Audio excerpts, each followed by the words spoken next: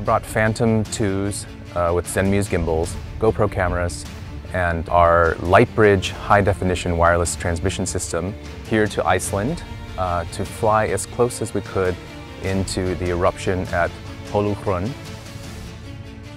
I arrived in Reykjavik and promptly hopped into a car for another 12-hour drive uh, to the farmhouse where we would be staying for the night. This is a river system here. Yeah, this is a big glacier river going to Australia. The next morning we woke up and we drove three hours on rough, unpaved roads before we arrived at the eruption site. We weren't allowed to actually drive very close to the volcano, uh, which presented another problem, which was range. So we flew anyway, we put the Phantoms in the air. Lightbridge worked really well. We had enough video to position the cameras to capture wide-angle views of molten lava erupting from this giant pool inside the caldera's rim.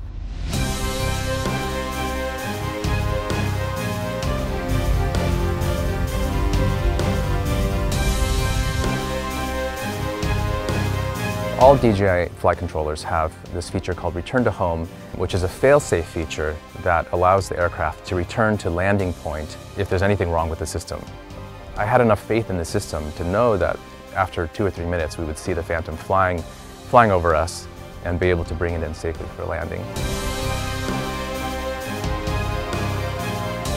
During the last flight, I decided I wanted to get a little bit closer to the lava. Suddenly the video feed cut out. I initiated a return to home and uh, brought it in for landing and I noticed that the front of the GoPro was, was completely melted.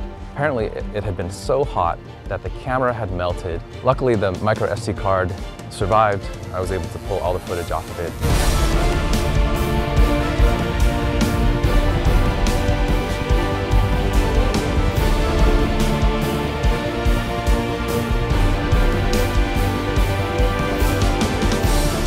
The fact that you can take a $1,000 flying camera and put it in the middle of a, an erupting volcano to capture wide-angle views of this giant pool of molten lava which is exploding and throwing lava 150 meters or so into the air is pretty amazing.